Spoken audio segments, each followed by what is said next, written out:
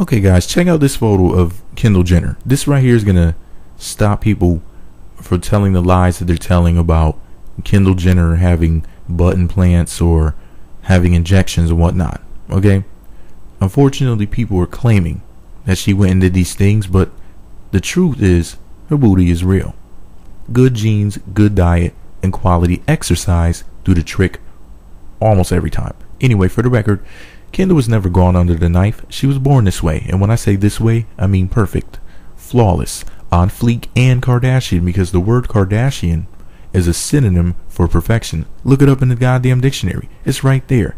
So haters, get off her clit. Let the lady live.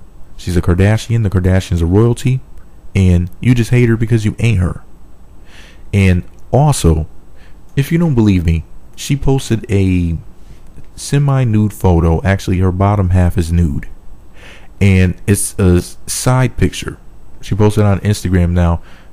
I reposted it on my blog at the end of this article. Click the link below in the description box.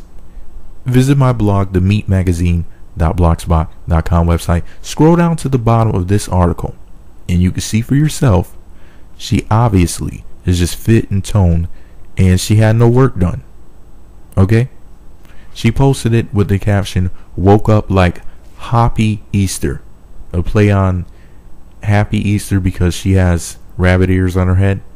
Anyway, you can see the photo for yourself by clicking below. Then let me know what you think about it below. Do you think she had you still think she has work done? Or are you like me and you admit the truth that she's just born that way? Let me know what you think about it all below. Be sure to subscribe to the Meet Magazine YouTube channel. Visit meetmagazine.blogspot.com for more.